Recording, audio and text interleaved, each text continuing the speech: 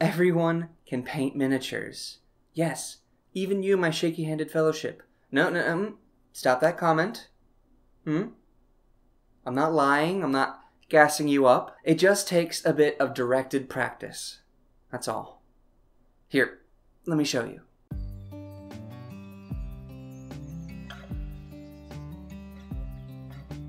It's simple, really. I'll be telling you everything you'll need and want to go from painting your very first miniature to having a full collection that even your mom's gonna be proud of. Who knows, maybe she'll even want to put one on her fridge. Well, it seems pretty self-explanatory, but if you're new here, I'll explain what miniatures are. They're these little plastic or resin or metal toys that you use to play things like tabletop role-playing games or war games. They're somewhere between a collectible, a toy, and a craft, where the models themselves are beautiful to collect, but they often come on sprues, completely unassembled and unpainted. It's very similar to, say, the people who build Gundams. It's just that these are generally smaller and are used specifically for playing games. And the painting and assembling is where this video comes in. Let's start with the absolute basics. First, you'll need a miniature to paint. There's a lot of places that you can get miniatures, but you'll find that they can get very expensive very quickly. Luckily, if you're just wanting to play Dungeons and Dragons, it's really easy to get a cheap WizKids mini that represents your character. You'll usually be able to find them in your local game store. Typically, you get two models for about $6. These are amazing for learning to paint on because most of the time they already come pre-built and primed. And they're not too detailed, so it's easy to get everything done rather quickly. Next, you'll need some miniature paints. You can technically use craft paints, but they are really not good for this application as they'll come out splotchy and lumpy because the pigment is often way too large. So I recommend going for miniature paint ranges. Some are a lot more expensive than others, but if you want to start with a very reliable cheap set, go with the Reaper Bones Starter Kit. There'll be a link in the description. It's got three extra miniatures for you to practice on, two brushes, and 11 different paints. I'm not sponsored, it's just a really good deal, but if Reaper does want to sponsor me in the future, you know where to find me. I will gladly shill your products. I mean, I already am, but the startup cost is $40, and I know that's a lot, but it is way better than trying to get all of these pieces individually. If you didn't go with this paint set, I recommend Army Painter. They're relatively cheap and work solidly for your first miniatures, and you'll need some brushes. You'll want to go with synthetic brushes from your local hobby shop. Oftentimes, they're very cheap and can still last you a very long time. Now, of course, Natural hair brushes are often way better, quote unquote, easier to handle, but if you're just learning, Learning brush control on these brushes is going to be infinitely better in the long run so that you don't waste a ton of money ruining your super expensive brushes. You'll want something about this size compared to your finger. Usually that's considered a size 2, but sometimes they range. Lastly, once you've got your paint, your mini, and your brush, you'll need a cup of water that you don't mind getting dirty, and some paper towels. I use a plastic cup with ridges like this, and this thing has been through the wringer, but it still works incredibly for me after several years. If you go to a hospital or someplace with a waiting room of some kind, oftentimes they'll have these next to their water coolers, and if you take some of those, they'll last you a long time, and it's totally worth it. Before we go into how to paint, I'm going to go over a few things you'll want to add to your collection as soon as possible. Once you have all of the basic materials, you can technically skip past this, but a lot of these are super cheap to start up and get, so I recommend at least watching through it once before getting into painting, to see if you can get any of these right now. First thing I recommend picking up is a wet palette. You can, if you want to, get one of the super expensive fancy ones, but realistically they don't work any better than just having one that you make yourself out of Tupperware, parchment paper, and paper towels. I made this one myself. I know, I'm a crafty little bitch. The reason you want one of these is that it helps your paint last significantly longer and you can close them up to keep your paint between sessions if you want to keep that exact color that you've mixed. You just have to add a little bit of extra water to your palette and it will remain fresh every single session for up to a week even. Now to make one of these you'll want some sort of short Tupperware, sort of like a sandwich container. Uh, I personally use the lunch meat uh, containers that you get. If you buy a pack of lunch meat, it'll come in this little plastic container. They are perfect for this. Just make sure to wash it out. Now take a paper towel, fold it into about the right size as the bottom, cut out some parchment paper to fit in that square as well, soak them both thoroughly in the sink, and then turn it upside down and pour out the excess water, and then smooth it out. Now you just want to add a little bit of water every session and you're solid. Next thing you'll want to grab is some sort of handle and poster tack so that you can hold your miniatures easier. Handles can be anything from dowels to pill bottles, anything that's about the length of your hand and is easy to hold on to. You can technically use foam tape for this. It works pretty well to keep the miniatures on, but unfortunately it's not reusable. It is a consumable technically, so I prefer to use poster tack because you can reuse that essentially forever. You just stick it to the bottom of your miniature and then stick it onto your handle and you're golden to go. Now you can prime your minis with any basic paint that you have, but it's much more effective to use either an airbrush with a primer based paint or a rattle can.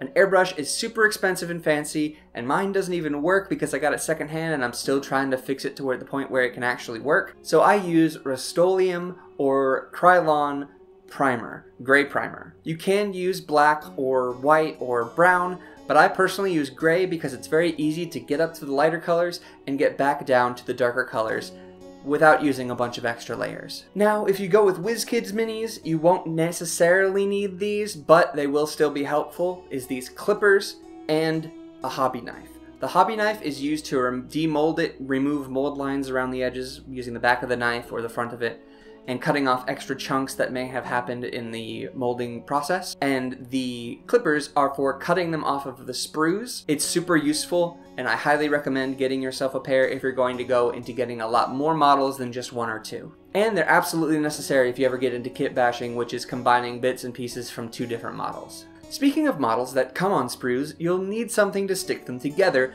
usually in the form of either plastic cement or superglue.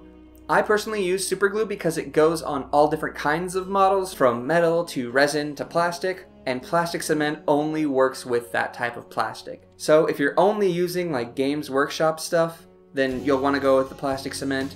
But I personally have a wide range of sources that I get my minis from, so I use the super glue. I recommend Gorilla Glue because it has the most bang for buck.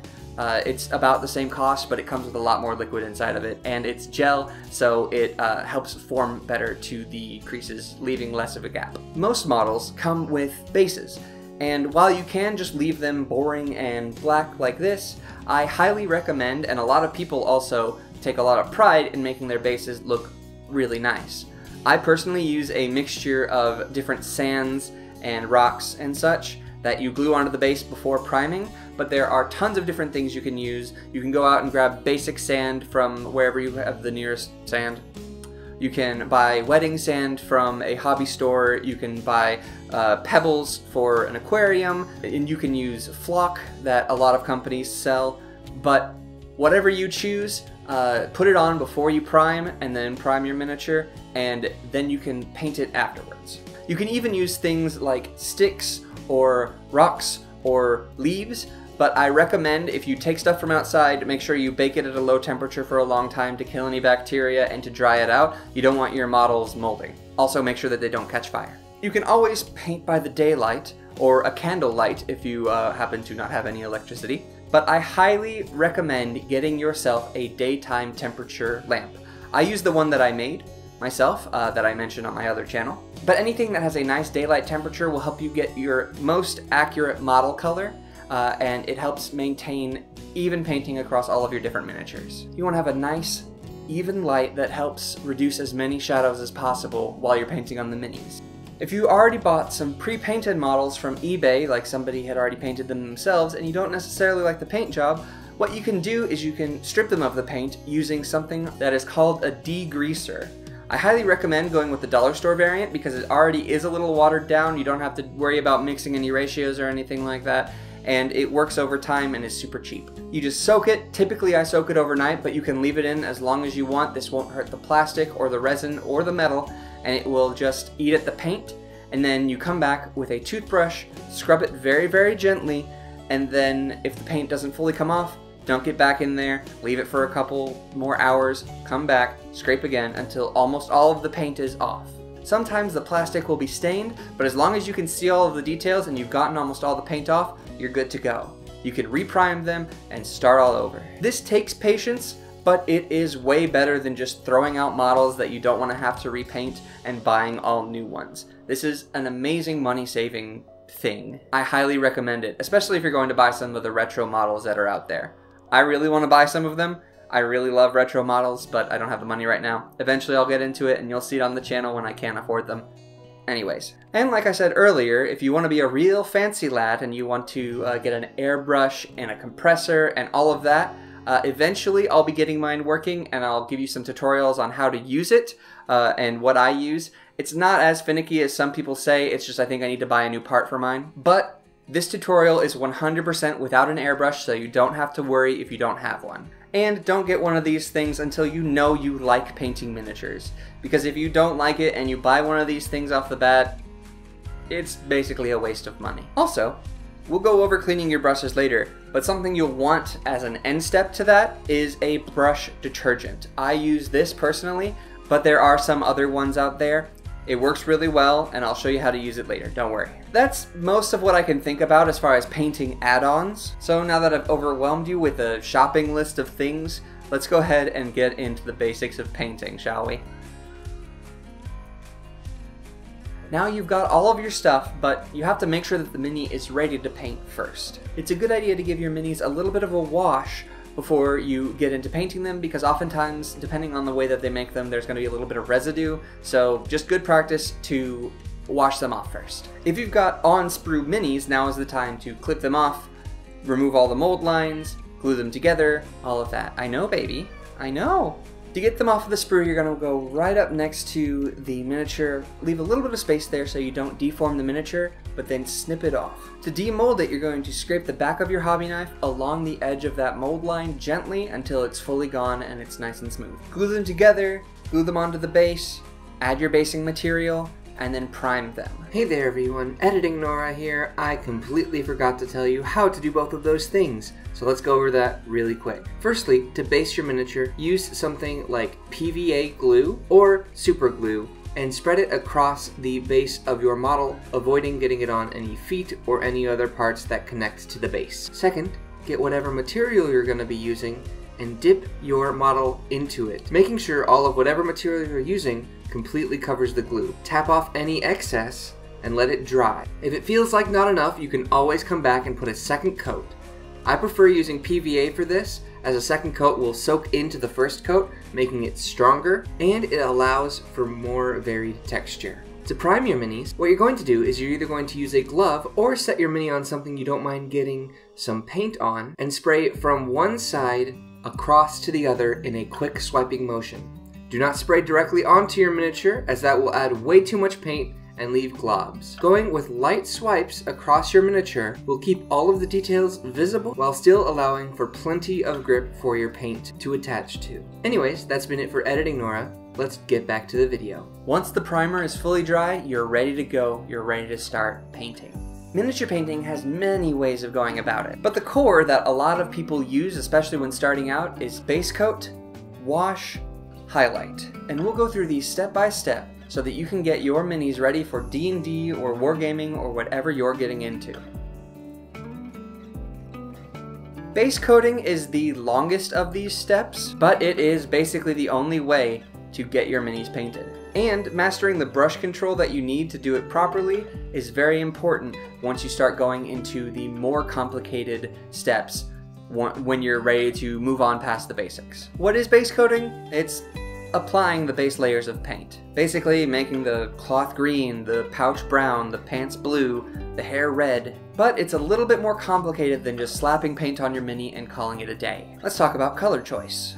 You could choose a plethora of colors and slap them onto your mini willy-nilly, but seeing that from afar, it's not going to look very cohesive. So holding it out about this far, you want it to look cohesive. My method of doing it so that it's not too cluttered is using five colors. Three basic colors. Typically I choose ones that work well together, like a red and green or a uh, blue and orange, and then a neutral color like a brown or a black, a flesh tone of some kind, uh, that could also be a brown or a tan or anything along those lines, and then a metallic color, either silver or gold. I typically keep a white or black paint around so that I can either highlight up or darken down if I need to, but that's all you'll need for one miniature. That will keep it looking pretty cohesive while it's sitting on the table in front of you and your friends. I typically keep the paint pots on hand and only scoop or squirt a little bit onto the wet palette at a time as I need it. Now, one second, you're almost to putting your paint on there.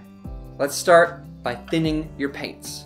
Typically, what I do is I put a few drops into my wet palette and a drop or two of water, mix it up and drag it out, and if it gives you a nice, even but translucent uh, streak on your wet palette, that means you're good to go.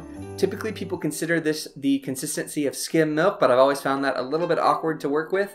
Uh, you want it to look a little bit like this. You don't want it too thin that it's beating up, and you don't want it too thick that it is not translucent at all. But to start, you're going to want to do two thin layers. This has become a joke amongst the community. Uh, Duncan uh, has definitely made that a meme. But basically, you want to put as many layers as you need to get a nice opaque coating. Now, let's get to painting. First, I choose the color that's going to be the most inward on the model. For example, for me, my most inward would be my skin, and then there's layers on top of it that would be painted secondarily. Oftentimes on miniatures, it's either the skin or the innermost part of the armor. I paint that first so that I can be as messy as I need to without having to worry. Then I go outwards. I choose the next up layer and the next up layer until the final one is the outermost shell. Most of the time that's the outermost armor or the helmet or something along those lines. Whatever is the most outward part of the model. So you can be sloppier towards the beginning and slowly but surely be less and less sloppy, uh, dialing in the correct colors. Make sure to get any excess off of your brush as you're going. You don't want to put big globs onto your mini. You want to keep it as smooth and thin as possible so that way you are not uh, leaving any textures on the minis that aren't supposed to be there. You don't want them to look painted, you want them to be painted. I recommend when you're doing metallics using either a different cup of water or completely rinsing out your water between using metallic and a basic color because the flakes will get in your other colors and you can see that from a mile away. You accidentally put a couple of flakes in the skin tone, it can kind of ruin the look of a model. So I definitely really maintain keeping two separate water cans for yourself, uh, just to be safe. Congratulations! Technically, if you wanted to stop there, once you're done painting your model, you're good, you can stop, you can call it done, set it on the table, you're good to go. But if you want to take it up a notch, for really very little effort, we're going to go over washing and highlighting. A wash is well, just that, a wash. You wash it over your model to give shading to the innermost parts of your mini. The wash itself will go into the recesses of the model and it will darken those areas specifically. Uh, you can either do a pin wash, which is just going into the creases, or you can do an all-over wash, and that will darken the whole model down a little bit, which we will then bring up with highlighting. This will take a little bit longer to dry, so while it's drying, why don't you go down to my Patreon, uh, just donate a dollar. Uh, it won't take that long. You'll be good to go. You'll see my videos a week early. Everybody wins. And once you're done, it should be dry and you can come back to painting. Now for the final step, highlighting. It's really, really easy. There are two different ways of highlighting that are considered basic. Edge highlighting and dry brushing. If you have a more organic model, uh, such as like a barbarian or a wolf or something along those lines, uh, something that has a lot of cloth, a lot of texture, a dry brush is going to be excellent. If you've got more of a robotic, sort of like army man or anything with a lot of smooth lines, you're going to want to do edge highlighting. Dry brushing is technically easier, uh, and let's go into that real quick. What you're going to want to get is a flat brush like this, something small. You can also use things like makeup brushes. There's a lot of different brushes you can use, and maybe in future videos I'll go into specifics of what each different type looks like. But as long as you got something like this, you'll be good to go. Dip it in the paint color that's a little bit lighter than your base colors. Typically I use like a bone color uh, over the entire model. It will work just fine, especially if you're only doing tabletop quality stuff. Rub it on the paper towel until almost all of it is off and you barely see it coming off when you scrape it against your hand. And then start going over the model uh, in one direction, typically from top to bottom. The goal is a gentle buildup of pigment uh, on the most raised areas of the piece. You don't want it to be overdone Less exaggerated is better. To edge highlight, you're going to take the size 2 brush, this one right here, dip it into your paint color of choice, a little bit lighter than whatever color you're going on, on top of, and just barely going over the edges, uh, the raised corners of your model. This will add a nice like shine highlight, typically that's used for like futuristic armors and stuff like that. Very common on space marines or any sort of like sci-fi setting. It gives it a nice crisp look. And if you mess up, you can always go back and tidy it up with the base color that you had. That's why the wet palette is super good, to go back to those old colors if you need to touch it up. Congrats, you're almost done with your model. Now all you gotta do is paint the base. I would follow the same steps as above, choose a base color, like a gray or a brown or a tan, paint over it, wash over it with like a brown wash or uh, even a black wash if you want more griminess, and then dry brush over it with uh, like a tan or a gray, and you are good to go.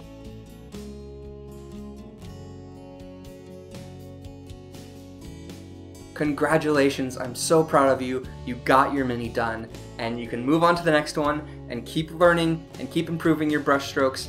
That first one, hold on to it. Hold on to the first mini you've ever painted.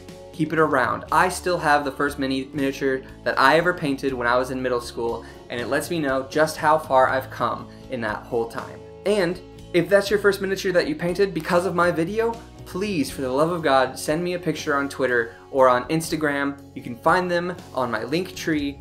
Just tag me and show me I want to see them. I love seeing people's creative works. And that is the absolute basics.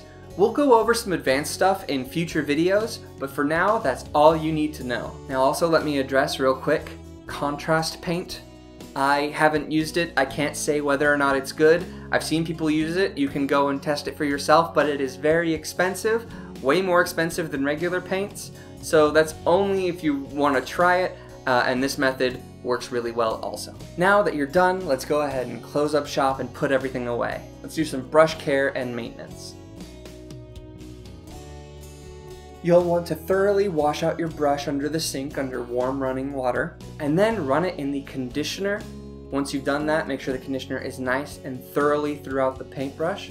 Then re-rinse it out and form it in the crease of your hand like I'm, like I'm showing here. That should help keep the tip nice and perfect. Uh, you want to make sure you try to get as much out of the brush as possible. Also, brush care 101, try not to get the paint all the way up into the ferrule.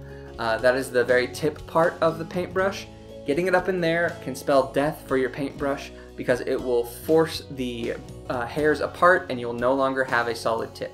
You can still technically use that brush as a dry brush, but keeping them as pointed as possible, as long as possible, is super useful, especially for getting finer details. I know they're only like $5 brushes, but keeping them as long as possible, you can keep a $5 brush for a full year. And if I can avoid buying new materials, I absolutely will.